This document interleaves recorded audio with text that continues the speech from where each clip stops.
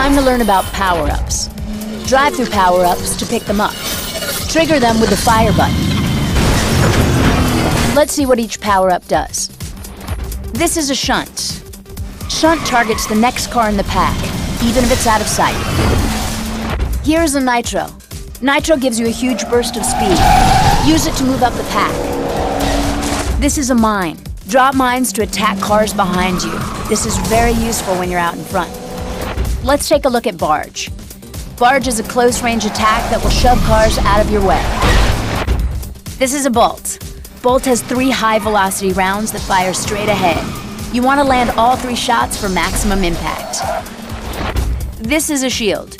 Use Shield to protect yourself from power-up impacts and collisions. This is a Repair. Use Repair when your health is low and save yourself from wrecking. Here is a Shock. Shock launches lightning domes to the front of the pack. This is great when you want to level the playing field. So those are the basics. Should keep you going for a while.